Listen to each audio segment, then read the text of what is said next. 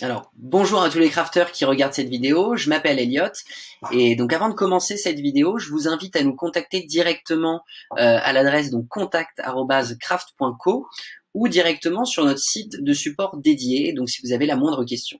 Alors, aujourd'hui, je vais vous parler de la fonctionnalité suivante, donc la géolocalisation des photos. Donc l'objectif de la géolocalisation des photos, ça va être de vous apporter un élément de preuve supplémentaire et aussi donc de vous permettre de localiser sur un plan les différentes, euh, les différentes photos qui sont associées à une tâche ou à un aléa. Alors, je vous invite aussi, euh, donc pour mieux comprendre en fait cette fonctionnalité, je vous invite à regarder notre vidéo précédente qui concerne la classification des photos.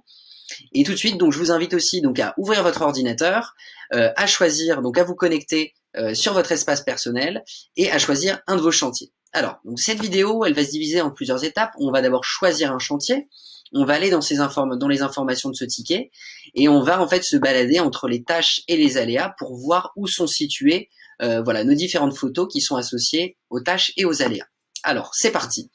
Alors donc moi j'ai choisi mon chantier qui s'appelle canalisation Craftville. Donc je clique sur canalisation Craftville.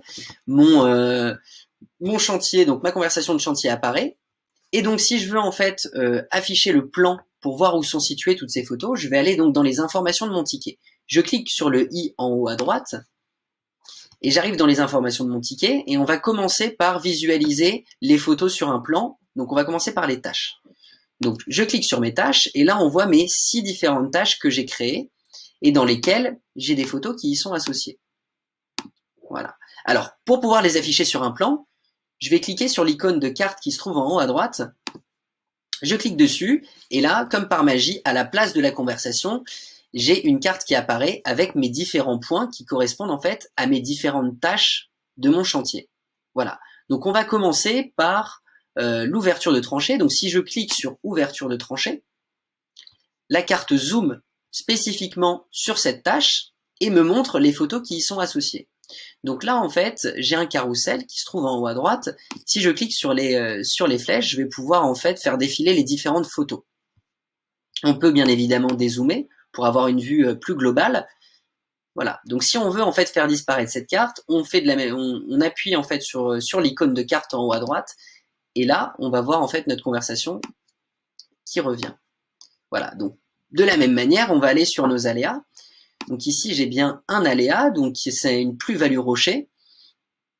Et si j'ai envie de voir où c'est où c'est produite cette plus-value rocher, je clique sur mon icône de carte et là, on voit mon aléa qui apparaît ici.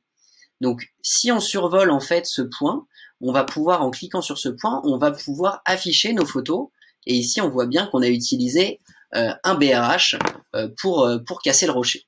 Voilà. Alors maintenant vous savez où retrouver vos photos sur une carte. Alors euh, j'espère en fait que cette vidéo vous a plu. N'oubliez pas de vous abonner pour être informé donc des nouvelles euh, des nouvelles vidéos qui sortiront.